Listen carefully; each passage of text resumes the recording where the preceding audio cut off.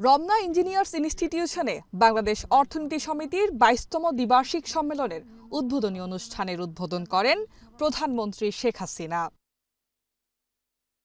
এ সময় প্রধানমন্ত্রী বলেন, সরকার ছয় তারিখে বাজেট ঘোষণা করবে। সেটি বাস্তবায়নও হবে।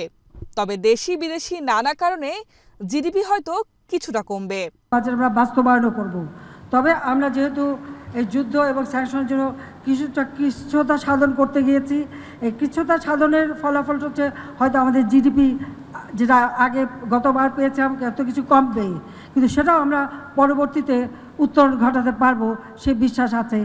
সরকার প্রধান বলেন জিয়াউর রহমান দেশে খেলাপি ঋণের সংস্কৃতি ও এলিট শ্রেণি তৈরি করে যা আওয়ামী লীগ ক্ষমতায় এসে ধীরে ধীরে কমাতে শুরু করে। সমুদ্র সীমা আমাদের বিরাট যে অধিকার এ ব্যাপারে তো জিয়া এরশাদ খালেদা জিয়া কোনো সরকার কোনোদিন উচ্চবাচ্যই করেনি।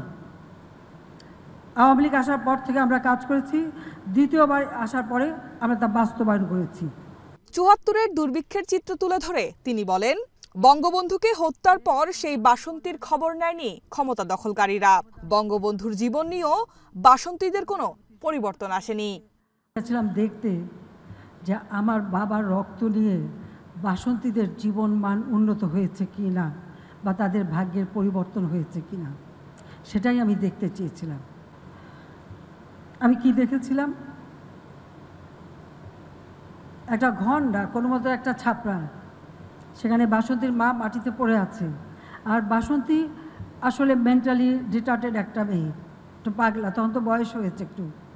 ওই পাশে বসে আছে, মাছি বন বন করছে, ছেঁড়া কাপড় ঘর নেই, মাটির মধ্যে পড়ে আছে তার মা আর তার পাশে বাসন্তী। যে যারা এত বদনাম করল, এত সমালোচনা করল, তারা কোথায়? তারা বাসন্তীদের খোঁজ তো নেয় না। বাসন্তীদের এই অবস্থা হলো কেন? আমার বাবার রক্ত নিয়েও বাসন্তীদের জীবনের পরিবর্তন কেন আসলো না, সেটাই আমার প্রশ্ন ছিল।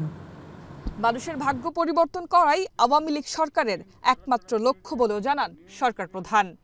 জাতিপিতার অধুরা কাজ সেটা সম্পন্ন করাই আমার একমাত্র লক্ষ্য। সেখানে আপনাদের সহযোগিতা চাই আমি। এই যে মিতু এশিয়ান টেলিভিশন ঢাকা।